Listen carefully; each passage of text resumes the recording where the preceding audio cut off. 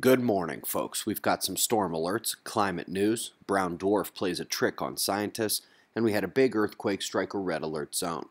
We begin with the sun over at spaceweathernews.com and find a calm last day on our star. Top features to watch are the dark incoming coronal hole on the south and, north of that, the dark plasma filaments.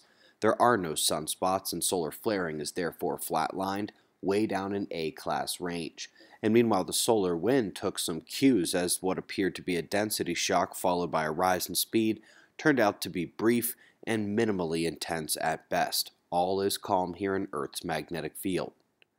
We will be expecting the solar wind to increase intensity towards the end of the weekend when the stream from that coronal hole arrives. Until then, the focus is IMF and earthquakes.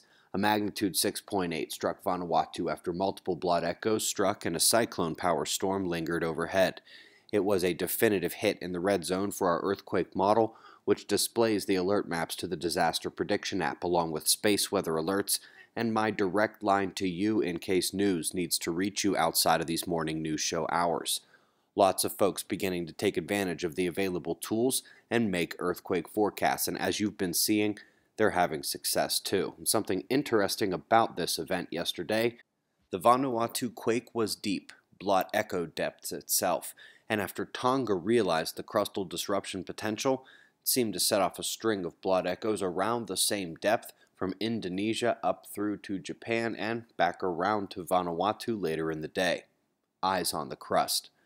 Top stories begin with the brown dwarf sitting 20 light years from Earth and which is not a brown dwarf at all. It is only 13 Jupiter masses, which is indeed planetary category, not small star.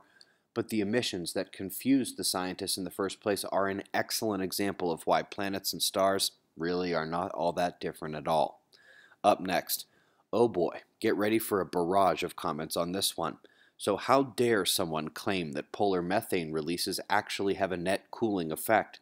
Don't they know they risk losing their funding for not going along with the frauds? I mean, cause. Anyway, these are not rookies. USGS, GEOMAR, Center for Arctic Gas Hydrate, the Royal Netherlands Institute. That's like LeBron telling you about being really tall and good at basketball. You may want to consider the experience level there. Bottom line, the methane has always been releasing, always will be releasing.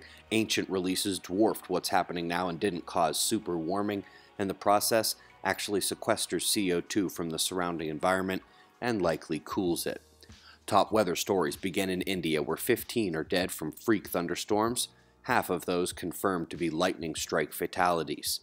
In the United States today, we've got low pressure converging air masses in the central corridor and driving strong storms later today. Eyes on that for sure.